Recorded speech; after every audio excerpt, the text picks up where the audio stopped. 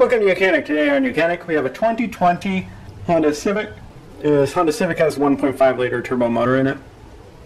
And we're going to go over where and how you would add engine coolant or antifreeze to your vehicle. So your engine coolant reservoir is right here, located on the right side of the vehicle, the passenger side, about mid of the engine bay. We have our indicators here, the low and the high, minimum and maximum of level of the coolant that you would need to be put in here. And so this is where you add it, and this is where you add all the coolant for the whole vehicle. And so you, to take this cap off, you just need to press it down and undo it.